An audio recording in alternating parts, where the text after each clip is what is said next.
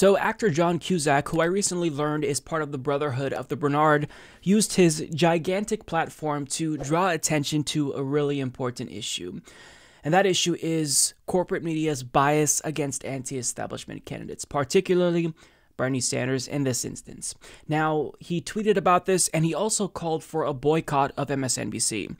Here's what he says Be clear, MSNBC, you did this to yourself. No one made you parade neocons and neoliberal pundits to slander and smear a people's movement that you know is not radical, but a return to FDR politics.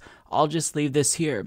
Hashtag boycott MSNBC. Now, this is a really strong statement coming from someone who is an actor because everyone always reports on what actors say. So if an actor tweets out something that's political, you know it's going to get attention. It could potentially, you know, gain some traction. So he shared a video compilation of MSNBC's bias and I think downright hatred of Bernie Sanders. And we actually talked about this same video compilation a few months back on the program. I think it was July. And this was put together by Winkle the Bernie Bro. And he took clips that Jeff Miami shares on uh, Twitter of just various random instances of, you know, them talking negatively about Bernie Sanders. And really, when you step back and look at all of these clips together, you see that there really is a hatred of Bernie Sanders by corporate pundits. So let's watch the video so that way we get the full context and understand why he thinks a boycott of MSNBC is necessary. Can I bring up the donkey in the room? Bernie? No. Bernie Sanders makes my skin crawl. Sanders fading is a bigger story than people have given her credit for. The previous uh, set of numbers about Kamala Harris seems to suggest that Bernie bros are actually a real thing.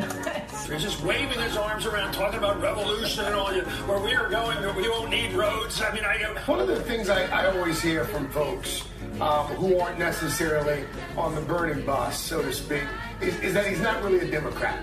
I saw Bernie Sanders trying to raise money off of it. Mm-hmm. Yeah, my, my, my timeline's going to be on fire. I thought it was horrible. And do you see any crossover, at least in those who are at his events?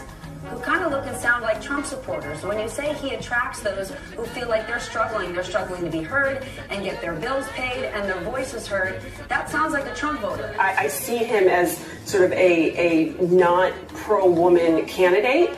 And some oh, people say wait, that but, you've but, heard but, Hillary some, Clinton's candidacy. Well, Bernie Sanders has done nothing between 2016 and today to expand his base, to expand his his policies. He seemed like a socialist from the 1950s yelling at people um, in the same um, screechy voice, without smiling, without any kind of personal connection. Bernie Sanders has been talking about these same policies essentially since he's been in public service for the past 25, 30 years but he actually hasn't done anything to pass them, right? He's talked a lot about them, but we have not seen any of these policies signed into law. What happened for, with Hillary and, and, and what's his name? Exactly. You would take the risk. I am excited. Donald Are Trump you asking that of every candidate? He's also saying the same thing he said in 2016 this time around. I think that's not working. That's exactly the point I was going to make. I think he kind of got lost in the shuffle. Other people have kind of taken those issues away from him, and he looked like the angry man in the center of the stage saying, "Get off my lawn." I think he comes off as as mean. I think he's disparaging. A socialist candidate is more dangerous to this country as far as the strength and well-being of our country than Donald Donald Trump. I would vote for Donald Trump, a despicable human being. Mm. No, you act, won't. I, I, let me tell you Stop something. yourself. so watching that back, it's infuriating, right? I was angry the first time I saw it, but watching it again, it just reminds you that this isn't just a bias that we're talking about. Like they genuinely hate Bernie Sanders. They simply don't just, you know, uh, prefer other candidates.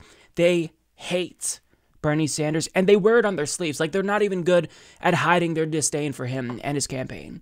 And it's just disgusting because MSNBC is largely viewed as the liberal or left wing network, when in actuality, they're not. They are a corporate friendly network who does the bidding of the establishment because the establishment is who funds them, right? They take in these advertising dollars from the health insurance industry, the defense industry, and in return, you know, they feel as if they don't want to rock the boat too much. And not to mention, a lot of these news pundits, they are multimillionaires. Like Chris Matthews, um, he gets $5 million per year. That's his salary. And does he deserve that? Like, if you look at the segments that he does in the political analysis that he, you know, is engaged in, The man is a buffoon. So these are people who are not just uneducated, but they're also biased. And when you put those two things together, it makes for a really dangerous combination. They are misleading people. Now, this isn't just anecdotal evidence, because we just talked about an In These Times report by Branko Marcetic, who confirms that MSNBC is, in fact, largely ignoring Bernie Sanders.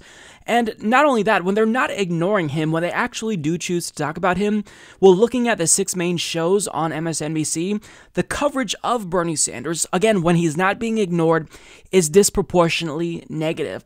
Now, we know that this isn't just about MSNBC, because a few weeks ago on the program, we talked about the Bernie blackout, where news outlets like CNN and MSNBC, along with the New York Times and Washington Post, they have a tendency to disingenuously report on polls in a way that downplays Bernie Sanders' chances. So if there's a poll where Bernie Sanders is in first or second place, they'll, you know, change the headline to reflect a different dynamic and say, oh, well, Pete Buttigieg just surpassed Elizabeth Warren. Like, that's an example, right?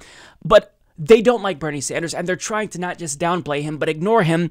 And when they're not ignoring him, they uh, express nothing but hatred for him. So, I mean, I don't blame John Cusack for, you know, wanting to boycott MSNBC, and I'm definitely on board. I've already been boycotting MSNBC, and I only watch when I have to to prepare for the show. But the thing about MSNBC is that those who are already willing to boycott are already doing so. They're seeking out some type of independent news source, be it on YouTube or otherwise or elsewhere. And, you know, it's just, it's not enough. People who are just average consumers of news media who just kind of follow politics, not religiously, but they kind of try to pay as much attention as possible. They kind of use MSNBC as their go to resource because they feel as if they're more reliable because they are ostensibly left wing. So if you remove that from them, they just kind of feel like they have nothing left, right? They're not as informed and they feel as if that's that's like their go-to, right? So by taking away MSNBC from them, we're kind of removing what to them is probably a crutch. So I don't know that a boycott would even be effective unless people actually know that there are alternative solutions out there. So we need people to not rely so heavily on mainstream media. And if people who were liberal and left leaning felt as if they had an alternative source, then that would really make a huge difference, right? But because MSNBC is relied upon from people who are left leaning, they will continue to have a disproportionate amount of influence on Democratic Party primaries and general elections to come. And, you know, that is problematic because they will continue to push corporate friendly candidates and ignore anti establishment candidates. And if you're on the left, if you're a Democratic Socialist, you will always support the candidate that is hated by corporate media. So we can never, you know, let our foot off the gas. We've got to constantly apply pressure to MSNBC until they either change or enough people jump ship and really do boycott MSNBC permanently so that way they realize that they don't have to get their news from this corporate news outlet. There are other sources that will inform them and do a better job at it than this corporate sponsored network that doesn't really care about the interests of voters and they're just trying to, you know, uphold the status quo.